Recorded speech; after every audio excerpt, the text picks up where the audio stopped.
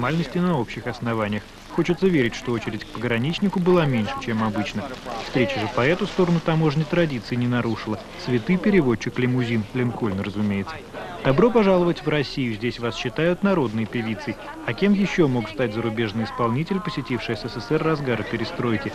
В 88-м Тайлер семь раз собирал аншлаг в спорткомплексе «Олимпийский».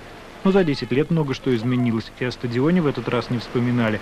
Тайлер будет петь в Кремлевском дворце, самом престижном зале с самой сомнительной акустикой, и в ночном клубе для гурманов. Я в Москву прилетела прямо с океанского круиза. Вот поглядите, какой у меня загар. Англичанка Бонни Тайлер на самом деле Гейнер Хопкинс. Лет ей примерно столько же, сколько Али Пугачевой. Кумиром Тайлер всю жизнь была Дженнис Джоплин, а вышла Тайлер из кассирш. Ранними 70-ми она служила в супермаркете, а по выходным пела в клубах и на танцплощадках. Над ее впоследствии знаменитым хриплым голосом тогда много смеялись. Если поклонники называли Тайлер обольстительной сиреной, то критики – сиреной пожарной. Но с годами голос креп, можно сказать, мужал, и в конце концов Тайлер признали Джо Кокером в юбке. Я никогда не выходила из моды. Знаете почему? Потому что я никогда за модой не гналась. Когда не гонишься, она всегда при тебе.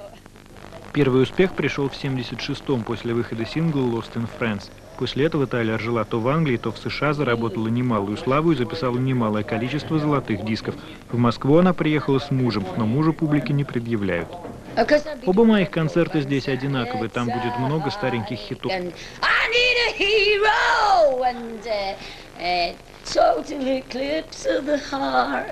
Вот так примерно.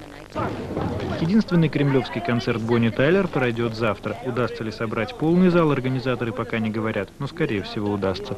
Алексей Пивоваров, Константин Арцулов, Вячеслав Уткин, НТВ, Москва.